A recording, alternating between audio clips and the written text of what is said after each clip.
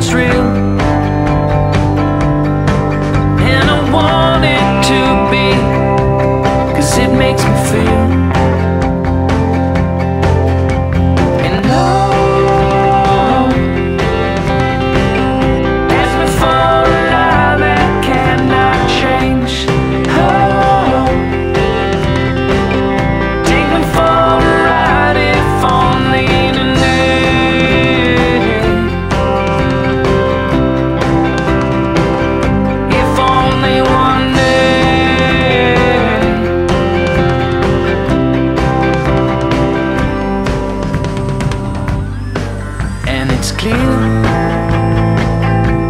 that I have no time